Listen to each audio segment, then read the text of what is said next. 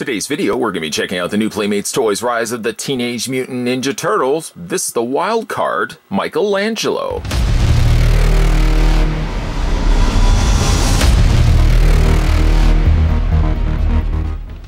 As the youngest turtle, Mikey has a wild and colorful personality. He is an artist and spends his time tagging the turtle's lair and his shell with graffiti.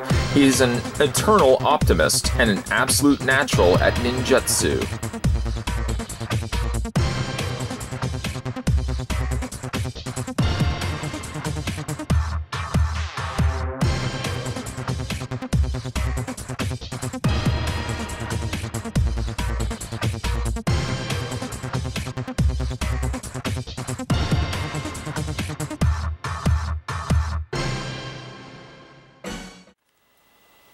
To figure out how tall Michelangelo stands, we're going to put the tape measure right next to him and putting it to the top of his head. The figure stands 4.4 inches. That in centimeters works out to be 11.2. And how does Mikey stack up with his other brothers? There he is next to Leonardo. Leonardo's a little bit taller than him, as could be said for Donatello. And poor Mikey is towered over, as well as the rest of his brothers, by the very large Raphael. Mikey's accessories, he'll also include the same shurikens that we've seen with all the other brothers. Same cast gray plastic with three individual, well, three blades, little three spikes on each end. One, two, three. There's no real place where you can store them on the turtle. I guess in theory you could put it like, you could attach it in this section right here. But it's not really intended to be there. So you can either display it in his hands or you can just leave them right off. And uh, he holds these shurikens in place like that. Like I said, there's no other place where you can store them. Also included with the figure, I'll just put him down here for a second. He comes with a skateboard. And the skateboard has the new Turtles logo on the top, which is the same logo that's on their straps. I think they said they were communicators, but they're just, I think there's just the Turtles symbols um, the skateboard is a little on the longer side than if you compare it to Leonardo's. Leonardo's was also made of translucent plastic, whereas Mikey's is made of a just a solid plastic. One thing about, um, I just want to show you like Leo's skateboard, for example, rolls fine and uh, doesn't doesn't move or anything like that. The reason why I showed you that is the thing with Mikey's there's a little bit of, I don't know if it's intentional or just the way that they plugged it into place, but there's almost a little bit of suspension to it. It means that when you are attaching the turtle to his skateboard, like that, when you put him down, you'll notice that the figure kind of rocks back and forth a little bit.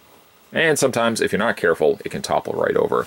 So he just has a little bit of extra, something I just want to point out, a little bit of extra suspension happening. Again, I'm not really sure if it's intentional or not, or just the way that they, they built it, but uh, this does rock a little bit back and forth. More so on the front than it does on the back. Put that right there. Mikey also comes included with a pair of Kasari Fundo. Now, what these are is essentially they're chains.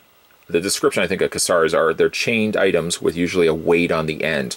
And the weights in this case, one is a punching glove, and then the other one looks like it's uh, almost like a disc, like a bladed, almost like a flowered disc. looks like there's blades on the end of it. These are made of translucent plastic. It's slightly jarring to see a turtle not with his regular weapons. I always usually think Michelangelo, for example, as nunchucks, but here in this case, he comes with the Kasari. Those just slide into his hands like so, like that and they sit well in his hands. I mean, they're not they're not going to go anywhere. But there is also this clamp right here, this little clip. You can take one of them, only holds one, and you can attach it to his chest. Now this looks a little silly attaching it like this, so you may want to just turn it around. Turn it around. There we go. I'll turn it around. And you can just attach it like that. At least it's out of the way, and uh, the, the figure's arms are still going to be able to move if you want to display it like that. The other thing he comes included with is like a sectional staff. I don't think these are still categorized as nunchucks, but it's made up of three components, three sections, and each of the sections are connected by what I could believe as, as a chain. Sort of like a sectional staff. Um, it doesn't have anything bending to it, nor would you want to bend it because you are going to develop a little stress mark and break it. But they are nicely sculpted, despite for the fact that the draw in them is that they're making use of, of a translucent orange plastic, which just looks awesome. But uh, they are sculpted as well. A little nice detailing that they've added to the handle portions. And you can also take that and attach it into his hand. Now the thing is with these, you're probably only going to want to display them in one of his hands unless you have the unless you have it this way. And when you have it this way, it sort of mimics more so looking like something Donnie would be wielding than something Michelangelo would be wielding. I personally would have loved to see him also include some nunchucks, but instead he gets the uh, the Kasaris, and he also gets the sectional. I think it's still I don't think it cl is classed as a nunchuck. I think it's still it's classed as a sectional staff, but he comes with he comes with that. This is pretty cool. Let me just put the figure down here for a second. For Michelangelo, as he does like graffiti, he comes with a series of stickers. And these are all stickers that you can peel off and put where really wherever you want. There is a, some space, a little few areas here on his shell that I guess you could put some of the stickers on there. I mean, some of the stickers are really neat. Like, I like the skull and the crossbones there. I'll probably have to find a place to put that. And there's like chili pepper. Uh, what else we have here? Ice cream, donuts, fire, sandwich. Oh, there's a little poop. Alien and some french fries and a whole bunch of other stuff. So he comes with those as well. Let's have a look at Michelangelo now that we've kind of covered off on everything else. Much like all the other turtles, how I said that each of the turtles is a different species, uh, Michelangelo here is a box turtle. So he's a little bit on the smaller side, although he has a much bigger shell than, say, the soft shell uh, turtle uh, that was Donatello. He's got some nice coloring, though. I don't know if the coloring is as good as as close as it was in the series, but it's almost like this nice um, very light, light shade of, uh, of green. It's almost like a mint green. Um, I like the face sculpt. I like that he does have a smile. In fact, really, all the turtles, I guess, well, I guess that's not true. Donatello really doesn't have a smile, but three of the four do have smiles on them. And he's got some graffiti there on his softer shell, which is made of a softer plastic. Paint's nice and good on it. His little logo there on his strap uh, is has a nice lime green with the orange on the top. And I realized as well, like with all the uh, the other indicators, each turtle will have its own corresponding color. The symbols right there, the little shell logos, will also have the T. I'm guessing that is the T in the corresponding color there of the turtle. Michelangelo's is orange, Donatello's is purple, and so on and so forth. Nice little detailing as well. They've incorporated these little smiling faces and sad faces on his knee pads. He is only one of two turtles that have knee pads. The other one is Donatello. And I really like the shell. The shell is one of my favorite things about it. And he's got a little smaller of a bandana than uh, the other turtles there. Uh, what's I noticed just now that Donatello doesn't quite even have a bandana. Well, he does, but uh, the ribbons, the parts that stick out from the back there, are much smaller than the other turtles. I just noticed that now. But you see the difference in shells, the soft shell versus the shell of the box turtle.